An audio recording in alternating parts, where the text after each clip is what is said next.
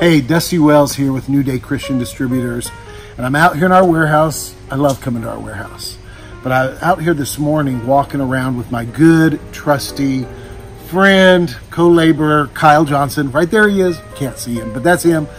And I, we were talking about CDs. And as I come around here and look at all of these physical pieces of product, the CDs, I mean, I see Stars Go Dim, I see Big Daddy Weave, I see Adam Crabb, I see Joseph Habedank, I see Greater Vision, I see Francesca Battistelli, I see Point of Grace and Natalie Grant, I see, oh my goodness, Chris Tomlin. I see all kinds of artist CDs. I see all of our soundtracks. We have an amazing array of soundtracks. We're one of the last companies who still get physical soundtracks into the hands of somebody that's going to sing at church on Sunday.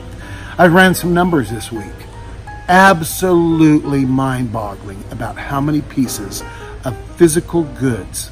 It's a physical piece of product, a CD, that is still going out to our Christian bookstores, retailers, our accounts, the individual people are buying it. I, if I, the, the numbers are staggering. 200,000 soundtracks in a year over 200,000. 167,000 pieces of product, physical goods, CDs. Those aren't just artist sales. That's just not sales to a, a big, big, big uh, retailer. That is a lot of twos and threes and fours that people are coming into your stores and wanting. You know what? I'm a product of what Christian music can do when I was 14 years old. I'm a product of somebody walking up to me and saying, this is going to impact your life. And it wasn't a CD, wasn't an eight track, it was a vinyl record.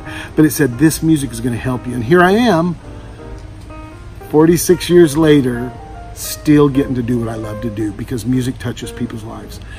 There are people who are coming into your stores that are wanting something to give to somebody. And a lot of times it's a music, it's a song. There's nothing like it. You know what? Uh, Apple gift card, an Amazon gift card. All those are fun and good, but you know what? There's nothing like being able to say, I have this song you need to hear. You need to hear this song. Getting a card to go along with it. I really want to encourage you to talk to us here at New Day about how we can help grow your music business because it's still growing. I just saw the numbers and it's absolutely incredible. Look around here. For King and Country, I mean, I, it blows my mind. The Happy Goodmans, there is music for every, the brand new Skillet, Bethel music.